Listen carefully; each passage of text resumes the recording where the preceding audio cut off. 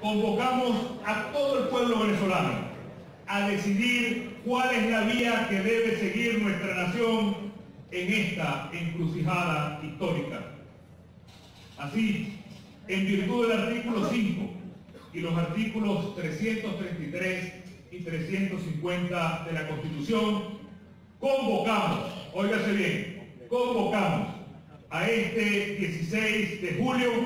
a elegir el futuro del país en este proceso nacional de decisión soberana y a partir de ese momento defender el mandato que surja de ese proceso activando una fase superior de lucha.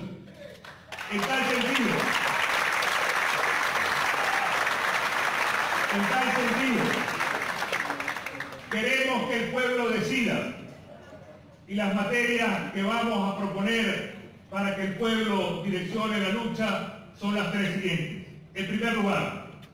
que sea el pueblo quien decida si rechaza y desconoce la constituyente convocada inconstitucionalmente por Nicolás Maduro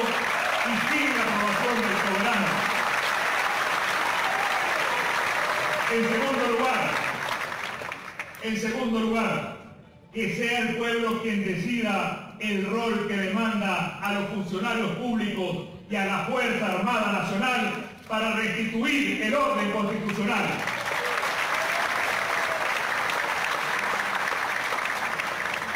Y en tercer lugar, que sea el pueblo quien decida si convoca y respalda la renovación de los poderes públicos